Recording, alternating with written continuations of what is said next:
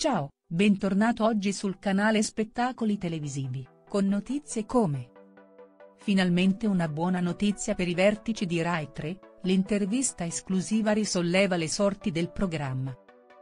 In questo periodo il termometro politico del bel paese rivela un fervore sempre crescente mentre le forze politiche alleate o contrapposte vi preparano ad un'infuocata campagna elettorale in previsione del 25 settembre, i talk show di rilievo nel panorama televisivo lottano per accaparrarsi gli ospiti più ambiti. Una manciata di ore fa la giornalista Lucia Annunziata ha colto la palla al balzo per piazzare uno scoop senza precedenti, segnando un picco di share insolito per Rai 3. Solamente qualche mese fa la giornalista Lucia Annunziata era incappata in una gravissima gaffe in diretta. Durante uno speciale del TG3 dedicato alle fasi iniziali del conflitto tra Russia e Ucraina, la conduttrice aveva commentato il destino dei profughi di guerra in arrivo in Italia. Certa che i microfoni fossero spenti, la giornalista aveva commentato, centinaia di migliaia di camerieri e badanti, il collega Antonio Di Bella aveva soggiunto beffardo. E amanti. Lucia Annunziata si è in seguito profusa in scuse, redigendo una lettera pubblica per fare ammenda delle sue affermazioni SOC. Frasi che al di là del contesto e delle intenzioni sono suonate inopportune, offensive, e soprattutto un atto di estrema stupidità, si era cosparsa il capo di cenere la conduttrice.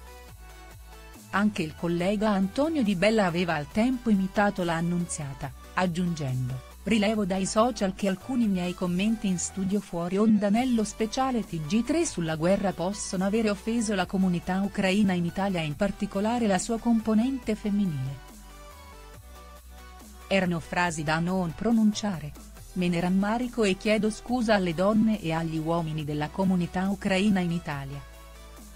La conduttrice al momento è impegnata nella conduzione del talk show pomeridiano Mezz'ora in più, in onda ogni domenica su Rai 3 dalle 14.30 alle 16,30. Con l'occasione dello strappo al PD del leader di Azione Carlo Calenda, la giornalista ha invitato il politico nel suo studio, permettendogli di argomentare la sua scelta.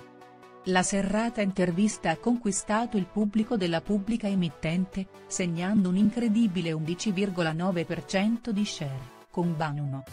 142.000 spettatori incollati agli schermi. Grosso riscatto per la conduttrice Rai, soprattutto alla luce del suo recente tracollo di immagine. Si prospetta un futuro di scoop, per la controversa giornalista? Grazie per aver guardato l'intero video. La notizia è qui per finire, mettete mi piace e commentate, in particolare cliccate iscriviti al canale, per ricevere le ultime notizie. Ciao e ci vediamo nei prossimi video.